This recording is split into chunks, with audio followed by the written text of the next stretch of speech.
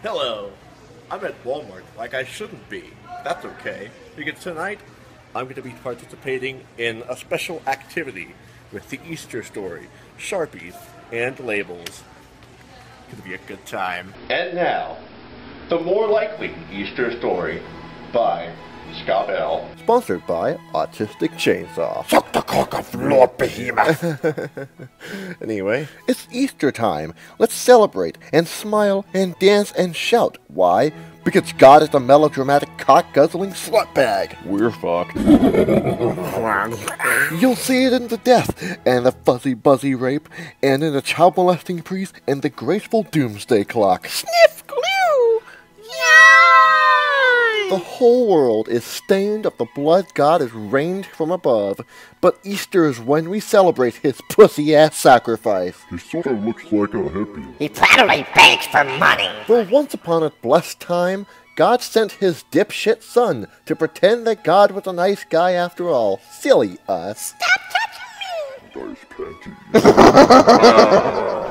This man named Jesus, I mean Jesus, hated us all and would beat children into submission. He preached that we should become greedy politicians, be jingoistic and unforgiving. Sit still, Henry. Smile right for the camera. Stop hitting me. Shameless product placement. And though he died.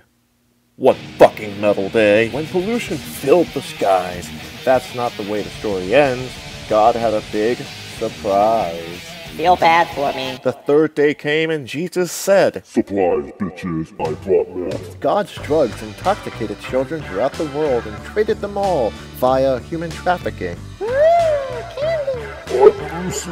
Flowers acidified, trees went extinct, the birds began to die. God's wrath will never ever end. It's bigger than anything. And so at Easter, when rednecks pretend to like each other at dinner, it's God's own way of whispering, Bitch, I want money. Pose for the picture. Thanks God for 9-11. Homosexuality is a sin. Just look around at all of the world so full of genocide and hypocrisy.